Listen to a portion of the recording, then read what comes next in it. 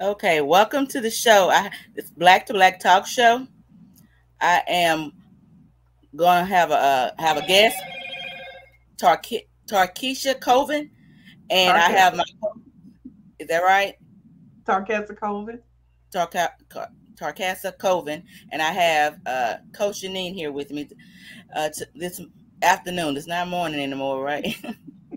yes. and uh, so I wanted to first start off by asking uh, Coach Janine to introduce herself. Thank you so much.